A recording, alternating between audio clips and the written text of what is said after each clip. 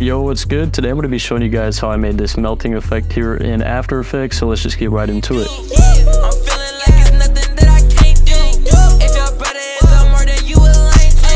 I just flicked a rubber band behind my washing machine. And this is super sick. It's super satisfying watching that guy slowly melt away in the background. Uh, I really like how this turned out. And this is actually in one of my preset packs on my website. I'll have that link down in the description, but make sure to go snag that. And it's made up of all of these effects. So it is, you know, kind of a lot. So if you guys don't feel like doing all of this and adding on all of these effects, definitely go snag the pack. But because I'm just like a really, really nice guy, I'm going to show you guys how I did this for completely free. So if you don't subscribe, bro, you're, you're dweeb. So first thing you want to do, obviously, is Roto Brush out your subject. So I got this little clip of Summers right here, and I just added on like some hue, some refined soft matte to fix the masking a little bit, and then also some tritone for some color correction. And then usually I'll add on some Lumetri color for some color correction as well. And it looks like I got some deep glow on there as well. So the first effect we're going to add on here is Displacer Pro. I'll have that link down in the description. It is a free plugin and it's really good. So first thing I'm going to do, I'm going to keyframe the translate Y value at zero on the first frame.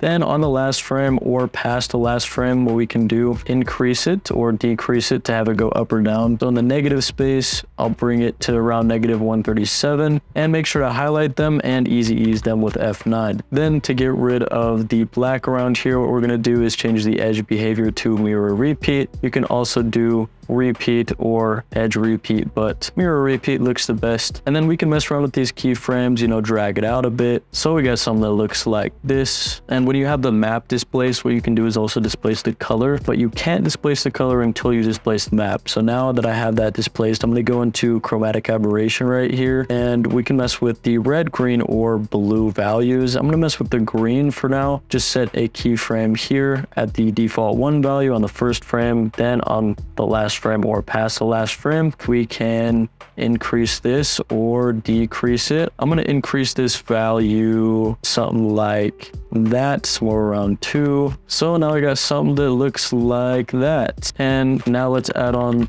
good old turbulent displace you already know. And i'm to set the amount to zero and size to 100 on the first frame. Then at the last frame you know we can do this however we want to. Basically if you don't already know you can just create some crazy looking effects with turbulent displace. You just want to make sure to keyframe the evolution to create more like movement and motion up in that effect so keyframe some evolution here and have it go through two or three full rotations. Easy ease that hoe and then drag it out as always to add some motion looking like that.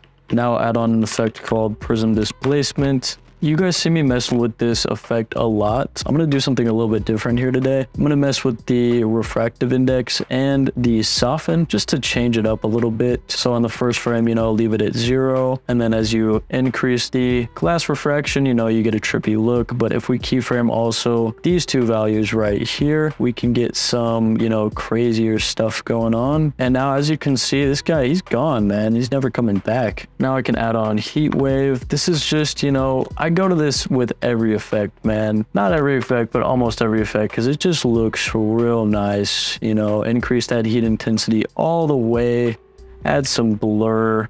I don't know. And you guys get the gist. I think the best thing about this effect right here that you should take away from today is messing with the RGB on Displacer Pro. That's definitely underrated. I don't really see people using that with Displacer Pro. They usually just mess with the displacement map, but not the displacement color map. It's a really unique tool. And then of course, messing with all of the settings on Prism displacement. And to wrap this up, what I'll do is, you know, typically just add on some color correction. I'm to pre-compose these two layers together and add on good old RSMB typically add some glows, stuff like that. RSMB is just going to give it that nice realistic motion blur. And you know, if you know, you know. If you guys want these presets, I'll have them linked down in the description. Make sure to check out my website, jamovfx.com. You guys would really support the channel if you guys picked it up. And the more you guys support the channel, the more I can create these videos for you guys. I appreciate y'all for tuning in. I'm sorry I was gone for like a month. I was really sick, but I'm back now. Thank goodness, man. I was just like in bed and I couldn't really do much. Uh, so it was cheeks, man. It was, it was really cheeks, but I was super excited to be back. I got some crazy editing packs on the way. Uh, I think it kind of blows everything else out of the water. So I'm, I'm excited. But I appreciate you guys if you stuck till the end. God bless y'all. Peace out.